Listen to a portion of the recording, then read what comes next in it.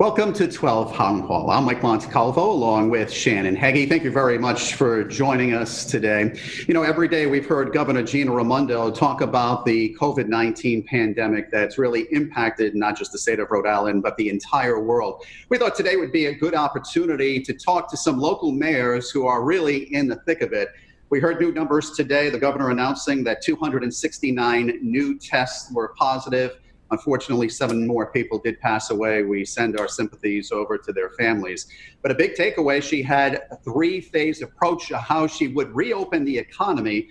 Phase one would be allowing people to get out of their house and start doing things. So we're going to talk to the local mayors. We're happy to have the uh, mayor of Providence, Jorge Elorza, Cranston Mayor Allan Fung, the mayor of Pawtucket, Donald Grebien, and Charles Lombardi, the mayor of North Providence, to join us today. Janet?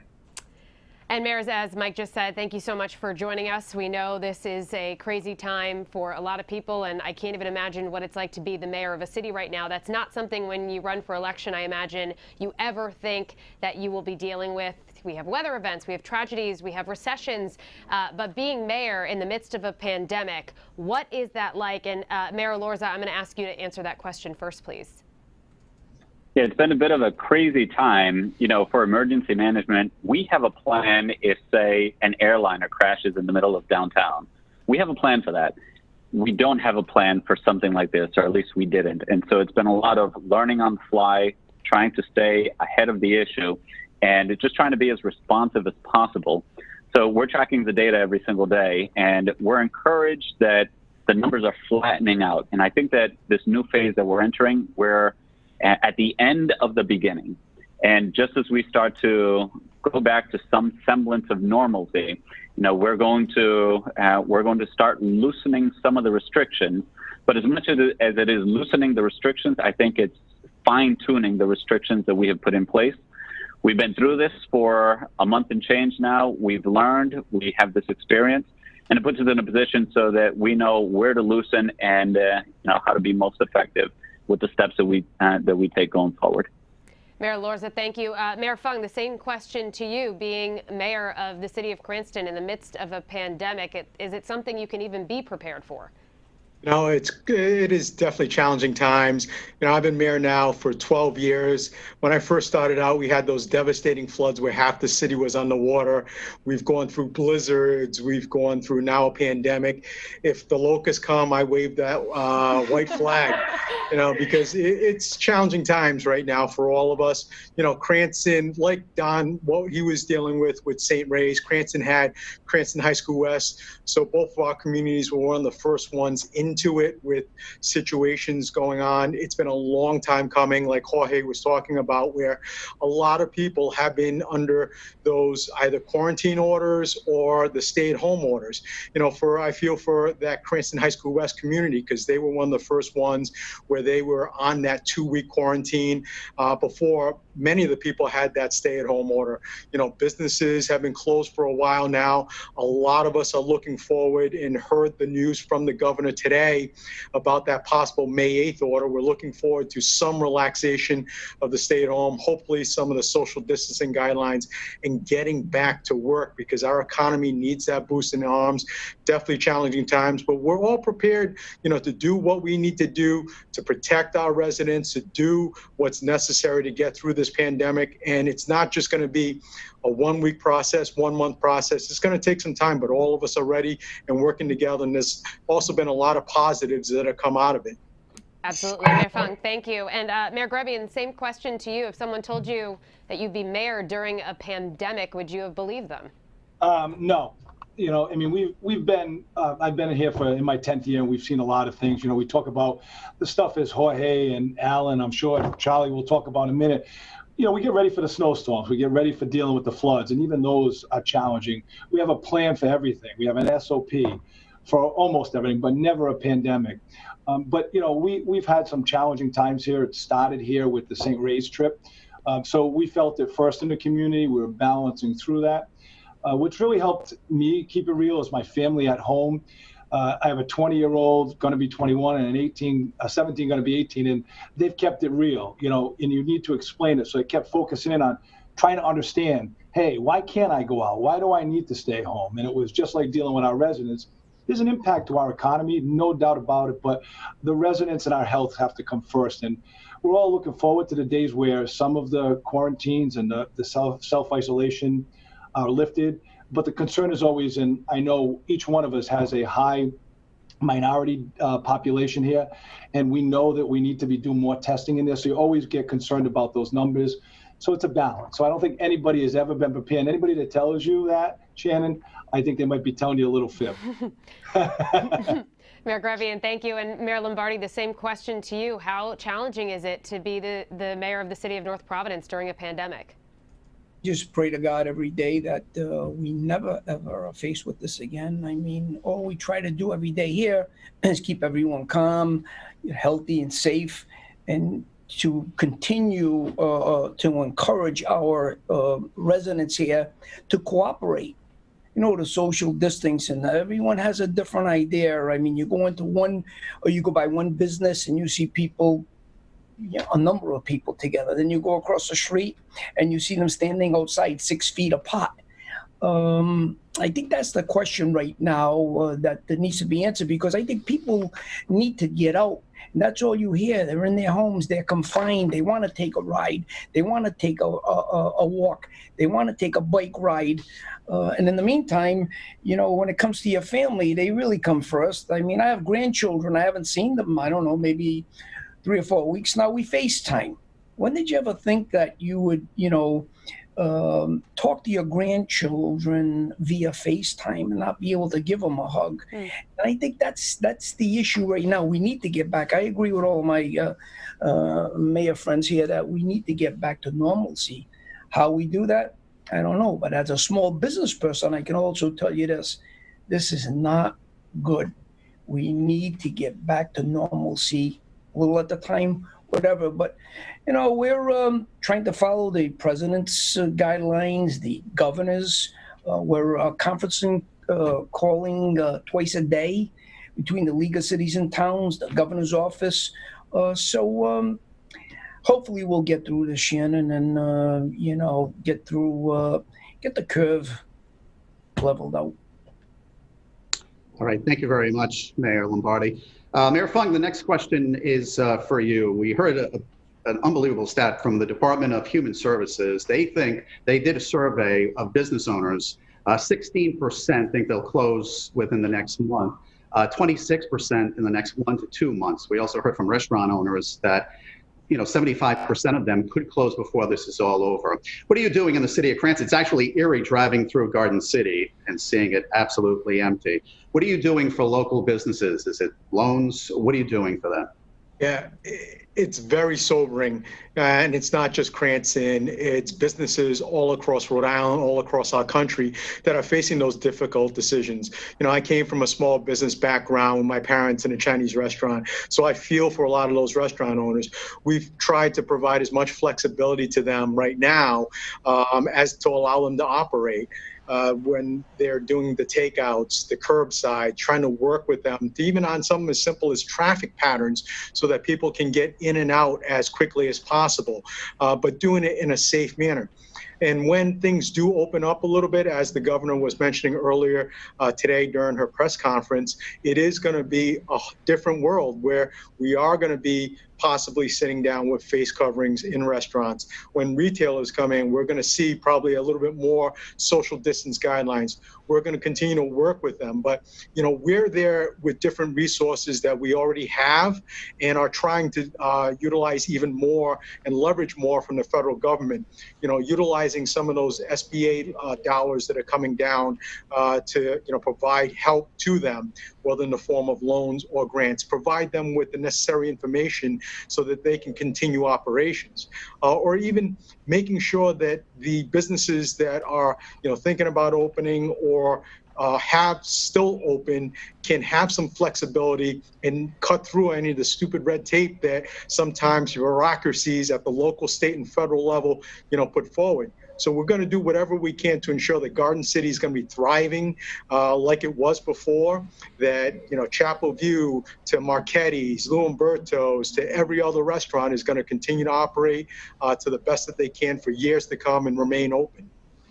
Mayor Fung, thank you. And Mayor Grebien, the next question is for you. You talked a lot about testing, especially a few weeks ago, and getting testing to all of the areas of your city, reaching out to different communities within your city. Do you feel like you've accomplished that? How important has that been for you? Um, it's been, you know, really a challenge uh, because of the resources, the limited resources, and the expectations that folks have. Uh, we were able to work through Care New England and the Department of Health and we were able to get testing done on site at New England. We're now focusing in on working with our partner in Central Falls, Mayor Diossa. Uh, we have the, the value of Dr. Fine, who used to be the department, uh, the director of Department of Health, working with us. Uh, we see the value in those walk-up testing sites. We have one at New England, but there are some hot areas and high population, high density, and high uh, minority population that we want to make sure that uh, we're reaching out to we're creating and we're working out how we reach out into those communities. There's a lot of Zoom meetings going on, education awareness. Uh, we're doing uh, outreach into the communities all through the schools in multiple languages. So we're doing what we can with the limited testing we have. Um, again, the challenge comes in is when we open up the economy, is the balance. Have we gotten to everybody and what are those true numbers are? Our numbers are increasing, and that's the fear of because most people weren't able to get a test or challenged to get a test. Availability and the Department of Health and the governor have been doing a great job. But there's that underlying concern of what do we do? Um, so if people are out there now, we're doing robocalls. We have a volunteer, one of our businesses, Colette Torres has stepped up and they're doing phone banking out to the community for both communities. We're working with MedTech to see if we can do some home testing for those people that can't get out and do the testing. So we're doing our part and the state is doing their part, but you know, concern always about do we get far enough and deep enough? You know, Mayor Lombardi, one of the most heartbreaking things we've seen over the last several weeks is people in nursing homes and hospitals passing away and their families just not being there for them. Uh, the town of North Providence has had a couple of uh, facilities that have been hit hard by COVID 19. Actually, Lawrence Gates, who's the owner of Hopkins uh, Manor, has filed for court protection, claiming he's suffering losses. Where do we go from here? Because it's not just the workers inside, but it's also the first responders that are going in and bringing the patients. How do you get your hands around this to protect people down the road? Well, that was one of the issues, uh, Mike. And, and by the way, I mean, as of yesterday, there were 394 positive cases. I mean, we're the fourth highest in the state, but we're number one per capita in positive cases.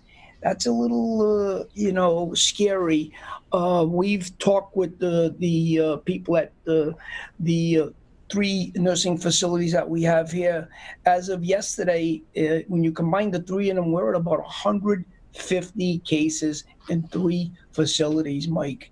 That is um, very, very concerning on our part. We've talked with the owners and, uh, you know, offered any support. Um, how can I say, guidance. We're trying to stay away from there. Uh, my main concern through all of this, and I had this issue with the health department, you know, going back about three weeks ago, the um, health department didn't tell us where where these cases were. Now I can understand that they didn't want us to know. Okay, you have one at 22 Smith Street, uh, 1580 Mineral Spring, but when you have 50 positive cases in one facility, uh, uh, my question is, why didn't you let us know so that we could give our first responders a one up? So that when they're responding to that facility, I mean, just yesterday we went to one facility three times. I did receive a call from the feller up at the Hopkins Health Center last week. We chatted. We're trying to stay in touch with them, Mike. Where do we go from here? Uh, you know, I'd like to say we need to, uh, uh, you know, pray that uh, we're going to get by this, and so that these facilities will become uh, as safe as they were. And that's the interesting thing. You take like Golden Crest, Hopkins Health. I've been in there a number of times. Those facilities are immaculate. They've been faced with this. Our job right now is support is to support them and try to get them past this so we'll get them back to normalcy also. What's the answer? I, I I don't have that answer right now, Mike, except to support them and ask all of the residents here don't have a negative opinion. As a fellow that's been in there a number of times, they've been great partners with the town. We go in there, someone has a hundred birthday, we go in and celebrate. Uh, whenever they have a, a, holiday function, we go in and support them. I've been in those facilities, and they're they're, they're real, real nice facilities. And you know, I said, as I stated, uh, you know, I, I, don't know, Mike, hopefully we can get by this. Well, I know the governor has mentioned the other day she's going to have the National Guard come in, but that's a short-term plan. Hopefully, there is a, a longer-term plan for those families. Shannon. Thank you, Mike. And Mayor Elorza, our next question's for you. Uh, about 46%, I think was the last number we got of the numbers, the positive cases we've seen are within the Latino community. So what are you doing in your city to try and reach out to the Latino community, to communicate with them? What are the biggest challenges uh, during this pandemic with all of that? Yeah, that's, that's a great question. There, there are a lot of challenges that we have. I think that um, so we didn't have that data a couple of weeks ago, but we had a sense that it was going to be particularly bad in Providence. You know, with the density of residency that we have here, it just makes sense that that, that, that there would be more transmission. Uh, but then also when you when you think of the uh, businesses that are still open, either factories, manufacturing plants, uh, restaurants, or CNAs that are still uh, uh, working at nursing homes and at other places, a lot of those uh, a lot of those workforces are made uh, uh, are made up by significant numbers of Latinos, and then if they um, get the virus at work, you know many of our residents come back here to Providence, and folks live in triple deckers, sometimes three or four families in the same house. All of those conditions are ripe for transmission, and so that's just part of the reality that we that we have.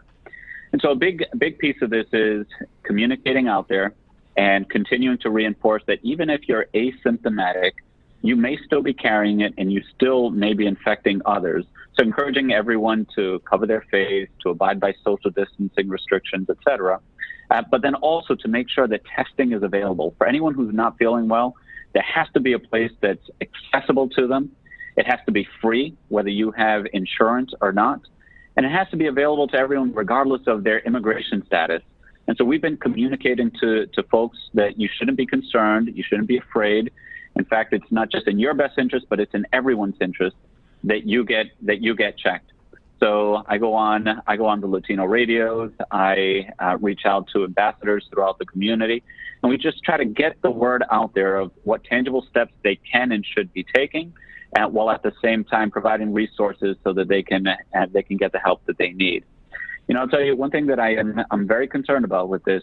If you look at the trajectory of this uh, of this virus, um, it's uh, the the impact here in, in the in the United States is very different than we've seen in other countries. Other countries, after they've reached their peak, they start to decline.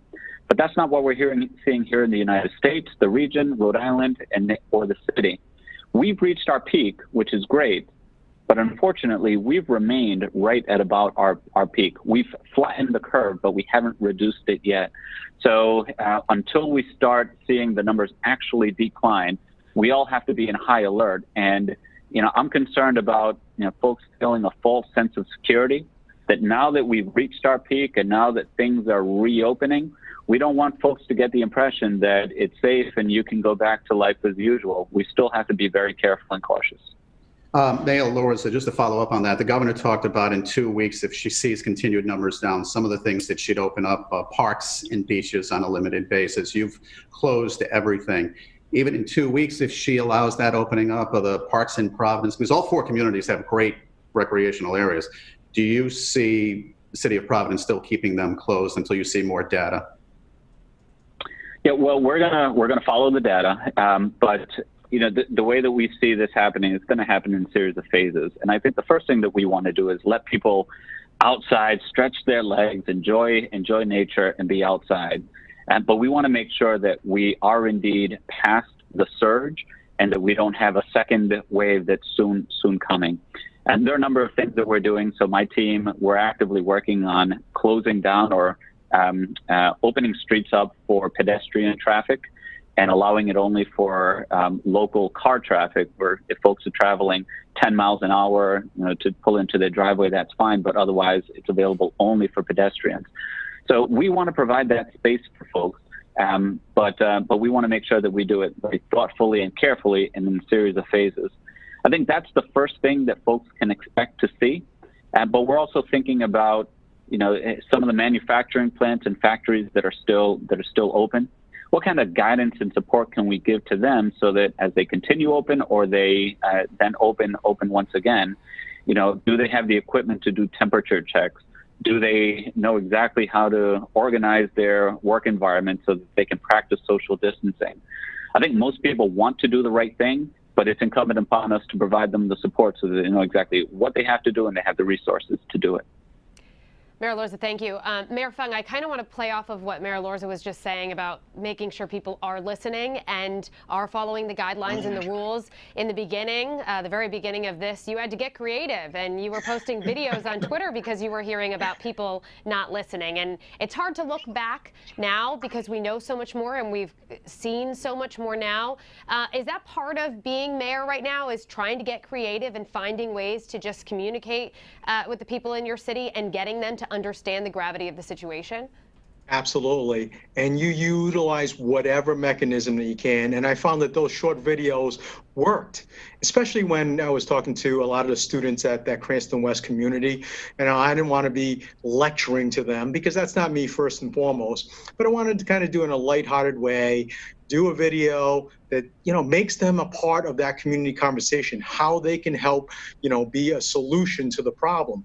And it's also work because i've also taken those videos into each of the different departments that have been open. That's still working. Everyone thinks oh city hall shut down. No we're still operating. Different formats that we're operating, rotating schedules, employees working in different departments, doing different job functions. But all of us have staff that are doing their part to help deliver the message out there. And through these videos, we've been able to communicate and also alleviate a lot of the fears that have been out there with a lot of the residents. Calm them. Know that we're there. What we're doing in economic development, what we're doing for the senior center, still providing food for not just Cranston, but 13 other sites across the state. Letting people know that you've got the census if you're still at home to fill out. To even helping support a lot of the community based programs that are in need right now. My wife and I, my wife, as you know, is in healthcare jumping to support you know the blood center jumping to support the food bank at CCAP, making sure that we get that message out and making our community a part of the solution and they've responded. That's one of the great things that happened. Those videos have been a fantastic way and i've seen all the other mayors do a lot of other things to kind of get the message out and bring us all together and that's what i love about you know what's going on in all of our backyards know, Mayor Grebien, we talk about families that are struggling. The nonprofits are really struggling too, whether it's the American Cancer Society or the arts and entertainment uh, industry. Uh, people are just not giving as like they used to. You just look at the food bank; they've distributed 1.3 million pounds of food in just four weeks. Um, how the city of Pawtucket, you have so many nonprofits in your city, are going to step up and help them, not just the small business. Are there small business loans for that? What can the city of Pawtucket do? So a couple things. I mean, we can always do more. We're trying to figure out where we can get those dollars. But one of the things that really was working, we had some about two hundred thousand dollars that we put out in the street, about, offered to small interest loans to the small businesses, to some of the nonprofits. Um, we had Bristol County Savings step up and matched or put some dollars in, about another fifty thousand. So we're trying to get that money out there. We were able to get 14 applications out in like eight days because that's where the rubber hits the road. It's how do we get those money, the money's out there. We're in constant contact with our nonprofits. Um, everybody, and, and, as the, my uh, colleagues have said, everybody's coming together. So it's, you know, in this tragedy or in this in this pandemic, people are coming together and are actually getting more uh, creative. We're partnering. I talk more now to the nonprofits and to the small businesses probably than I have in years. And you know, as much as we try to do those things, and people are coming together, supporting one another. So we are getting as much money and support out there. Uh, we have our meals uh, that we have our site for our seniors. We have people are still working. We're delivering meals. We're still taking and we're respecting the social distancing rules, but our buses are still taking folks out from these areas who needed that we're relying on nonprofits for medicine or to the market. We're doing those things. So there's a lot that we're doing in all the communities, but there needs to be more. And I think as we roll out the next steps, you'll start to see more and more of that happening. But there is a good partnership throughout. We're reaching out, we're involving them in calling our communities, uh, calling our residents to in the community, I should say, and making them aware of all the guidelines and support that we have. We actually put out a question to our viewers on Facebook and we asked, do you have questions for mayors? And uh, we got dozens of responses, but overwhelmingly, I'd say 99% of the comments we got were, when am I going to get my stimulus check? So if we're hearing that question, I have to imagine all of you are hearing that question as well. Of course, it's coming from the federal government, so you only have so much control, but what are you doing? Because obviously people are struggling and they're looking for that money. Um, and I want to hear from all of you on this, but uh, Mayor Lombardi, why don't we start with you? Yes, we're getting the same calls, uh, Shannon, and you know we reach out to the state, we reach out to the Small Business Association, and most of the time it's tell them to stand pat, the check's coming, and some people are getting a little tired of that answer. So the only thing we can do, okay, I wish I could write them a check. Mhm. We can't do that. We have to depend on what we're being told. And I will be honest with you, if I were one of those people that were waiting for a check, I would be, I don't know, I'd probably be upside down. I uh, grieve for them and I feel feel bad for them. But again, when you talk to small business, it's coming. Um, I don't know. Mayor Lombardi, any specific resources that you want to get out there for people who do watch this? Because I know this is all about communication and just making sure people in your community know where they can get help while they're waiting for that check, where they can get food, where they, they can get answers. Is there anything you want to uh, point out specifically for them, for those that are watching? Just that um, any anyone, and this phone rings all day long here, that uh, any advice or any help that we can uh, render to any of our um, residents, uh, business people in town, we're standing by. Just uh, we've been out and I've been visiting with them. Again, coming from small business, I could relate to that. Yeah. It's not easy for most of these businesses, and that's the reason why we keep saying we need to open as quick as possible uh, and as soon as possible. Thank you. Uh, Mayor Elorza, same question, please. Everyone's wondering where their where their checks are. Uh, I know that the IRS has a website.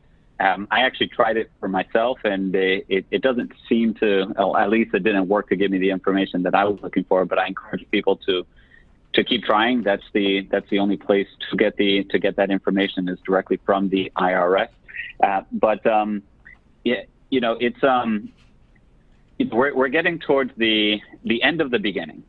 So uh, first was the spread, and now that we have it under control, we're all trying to figure out what this new world that we live in looks like, what shape it's going to take, um, and and no one really knows. So it, part of this is you know experimenting. Part of it will be fits and starts. We are going to loosen and fine tune some of the restrictions, uh, but uh, you know this is all a whole learning process for everyone. And just as it's been throughout this entire time, for this to be successful, uh, we need everyone's help and cooperation.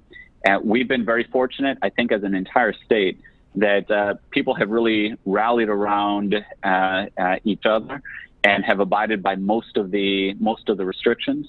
And so, as we go forward, we're going to continue to ask our folks to um, to be responsible, to sacrifice when necessary, uh, but to do it because it's um, in in our entire community's uh, best interest.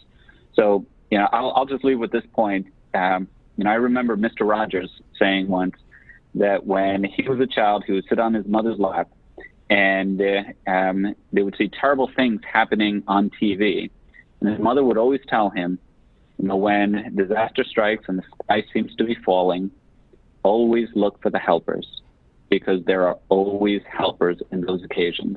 And that's what we've seen step up throughout our cities and throughout the entire state. People are stepping up to help in very selfless ways. So I want to thank all of the residents of, uh, of our communities for doing that. And I know that we can continue to count on them as this enters our new phase.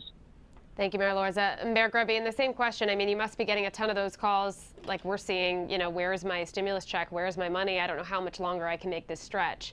It, it must feel you must feel powerless when it comes to that. Absolutely, and I think all of us recognize that we are powerless, but there are things that we can do in our community. So for those folks who need food, um, you know, and some supplies, we're here working through those. We're working through a city hall they can call. We're working through our senior center. We're working through our EMAs as well.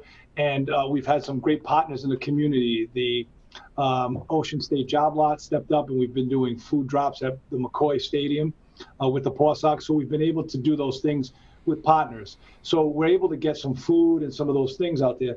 But the council and I uh, have taken the approach not to do any tax increases. I'm sure our other mayors were going through our budget process of doing those things. When none of us are going to throw anybody out of their home because they can't afford to pay that, right? We're working on how we can uh, support the governor's initiatives and the rent money that's going in, um, or as far as the taxes go, how do we work with each everybody individually? If somebody can pay, naturally there's a cash flow issue, so we'd want them to pay if they can. But those that can't, we're working directly with them to the departments because people are working to keep that keep them in their homes. Nobody's going to throw them out. So how do you make those dollars stretch until the day comes? We hear constantly that the money's coming. We have money coming to us through the state, through the federal to the state to us, and we're waiting on that as well. But anything that we can do, you know, we're being creative. Businesses are stepping up that have some cash flow. Uh, they're trying to support some of the residents. So we're working well as a community through the different organizations. Thank you. And Mayor Fung, uh, from you as well, how, what are you doing for your uh, residents to just try and help them through before that money comes? Know, advocating for them. You know, you've heard from all of us today. The bottom line is we're get all of our phones are off the hook with these questions about, you know, what's going on, not only just in Cranston, in our backyards, but also with the state, with the federal government, and especially with those uh, tax dollars coming in, um, you know, that so-called stimulus funds, when's it going to hit into their bank accounts? Uh, on behalf of all those residents, on behalf of all the mayors, town administrators, managers, on behalf of our state. You know, I've got one message to Washington, D.C. I'm going to channel my best Cuba Gooding Jr. and say, show us the money, because that's the bottom line. This shouldn't be about partisan politics. And where a lot of the frustration really comes into play with all of us is that last round of stimulus. And, you know, I know all of us are on those national calls as well. There was dollars that was set aside for state and local governments in particular, because local is where we can put the biggest need to. You know, we're on the phone with our federal delegation. We're on the phone with the governor's office. We're on the phone every single day with all of our partners with that one message we need those dollars because without those dollars, it's going to impact and decimate a lot of what we can do to protect our residents. And this shouldn't be about Republicans, Democrats, whatever party labels. It should be about Washington, D.C., getting past that, stop with the dysfunction of back and forth, you know, the bickering that sometimes goes on that we see in the news, and get things done for all of us uh, you know, they're going to have another, we're hearing about another round of stimulus coming, a fourth round that is supposed to include dollars for us at the local level. Let us have that opportunity to put it into our revenue streams and put it back into our residents. Because Don's right. A lot of us aren't going to be raising taxes because we know people are hurting the high unemployment. We know that a lot of people have had people that have been impacted with positive COVIDs or, God forbid, you know, those that had someone pass. We need to be caring, concerning for all of them. And that's what we're going to continue to do be advocates, strong advocates at all levels on their side. And for those people watching right now and they have any questions, whether it's about the uh, stimulus money or any financial dealings with uh, what they're going through, we have 12 responds where Target 12 has been answering all kinds of questions. We're over 8,000 questions right now that we're getting answers to. So if you're watching, you go to the 12 response tab click on there, and if you have a question, we'll get out and uh, talk to the people who can uh, actually answer those questions for you. We appreciate you taking out the time, mayors, to uh, be part of the 12th Town Hall. I think a lot of people are wondering when can we get back out? When can the kids go back to school? When will we be back to normal? We all live in hope, and we hope that that would happen. So, Mayor Elorza, Fung, Grebien, and Lombardi, thank you very much for joining us. Thank you. Thanks for having us. And thank you, Mike Shannon. Thank you.